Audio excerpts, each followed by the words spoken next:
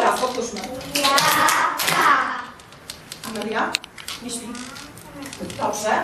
Uwaga, a teraz będzie zadanie bardzo trudne dla tych, którzy nie wiedzą, nie znają owoców, które są, y, są w naszych sadach albo są w sadach, sadach czy na innych, na plantacjach w innych ciepłych krajach.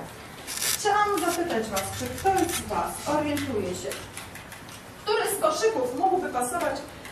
Po mojej prawej stronie, czy po mojej lewej stronie?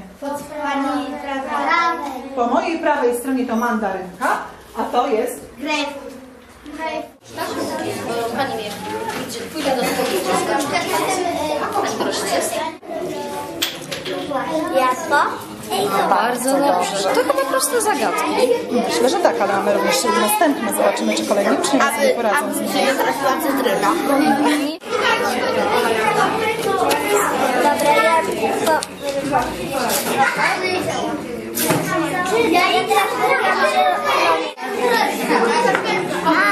Przytrzymaj tu w rączkach.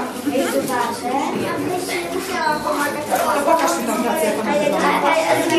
To ładnie. Tak, to ładnie. Proszę bardzo, powieście na tablicy. Ile kostiumów?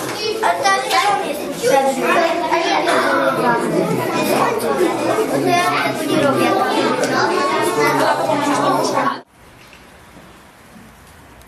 Dobrze. I powiedz nam, jakie są cechy, cechy smakowe, tak? Czyli jak, jak ten owoc Ci będzie smakował.